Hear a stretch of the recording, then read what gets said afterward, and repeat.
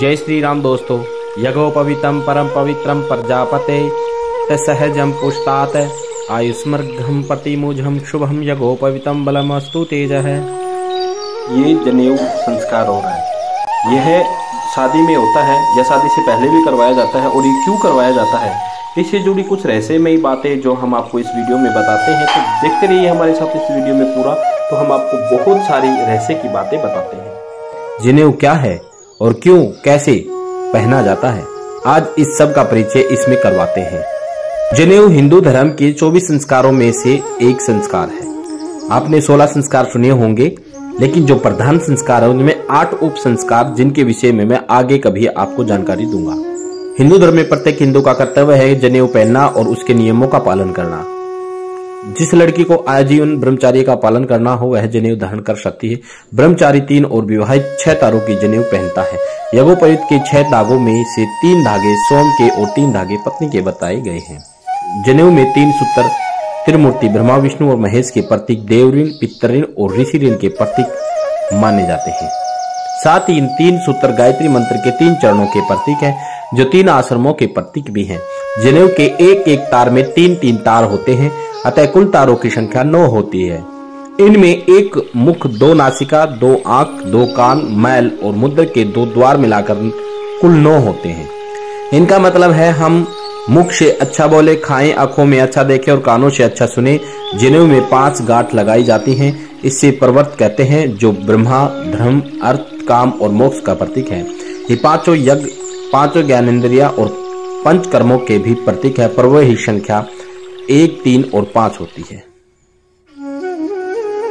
जनेऊ में नियम की जनेऊ बाई गंदे के दाएँ कमर पर पहनना चाहिए। मैल मूत्र विसर्जन के दौरान जनेऊ को दाहिने कान पर चढ़ा लेना चाहिए और हाथ शौच करते ही उतारना चाहिए। इसका मूल भाव यह है कि जनेऊ कमर से ऊँचा हो जाए और अपवित्र न हो, यह बेहद ज़रूरी होता है। जनेऊ के धारण करने से क्या क्या फ़ायदे होते हैं? वैज्ञानिक के तौर पे भी और शास्त्रों के तौर पे भी हम दोनों बताते हैं। बार बार बुरे संपन्न आने की स्थिति में जनेऊ धारण करने से ऐसे संपन्न नहीं आते। जनेऊ के हृदय के पास से गुजरने से यह हृदय रोग की संभावना को कम करता है, क्योंकि इसकी रक्त संसार सुचारू रूप से संचालित होने लगता है। जनेऊ पहनने वाला व्यक्ति सफ़ाई नियमों में बंधा होता है।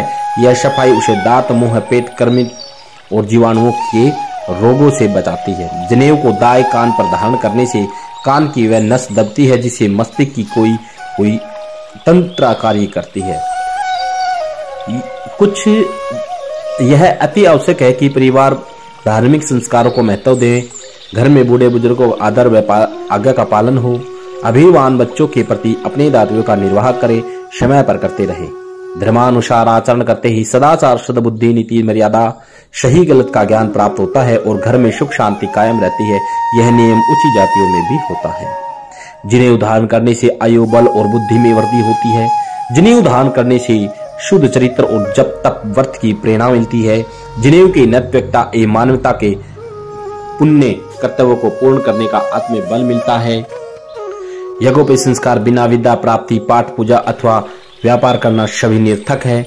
जनेऊ के तीन धागों में नौ लड़ होती हैं। फलस्वरूप जनेऊ पहनने से नौ ग्रह प्रसन्न होते हैं।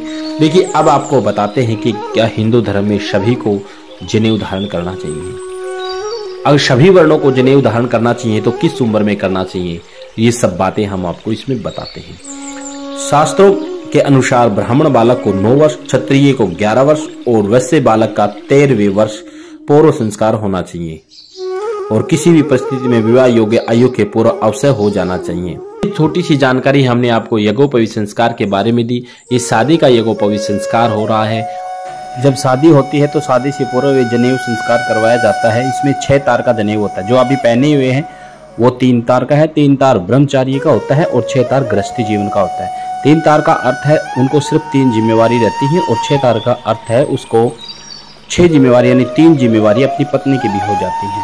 तो ये शादी के पूर्व यज्ञोपवित संस्कार करवाया गया और पंडित जी इनको कुछ नियम समझाएँगे। अभी हम आपको सुनाएँगे कि क्या क्या नियम है और जनेऊ की वो सब पंडित जी इस वीडियो में आपको बताते हैं।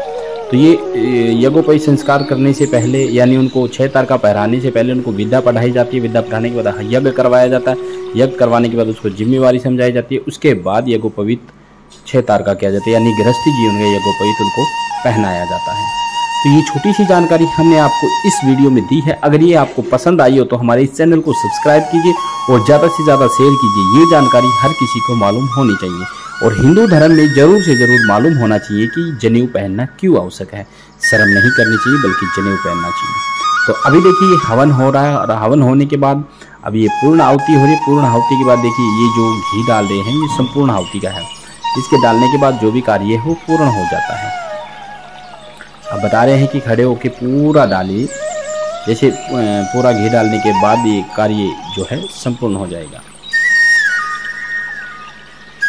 अब जो पंडित जी हैं, इनको गुरु मंत्र दे रहे गुरु मंत्र अपने जीवन में, हर व्यक्ति के जीवन में होना ज़रूरी है, क्योंकि हर संकट की घड़ी में गुरु मंत्र काम करता है।